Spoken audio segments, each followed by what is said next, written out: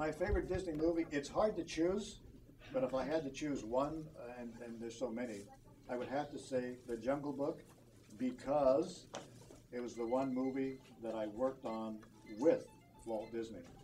So that makes it, that makes it special.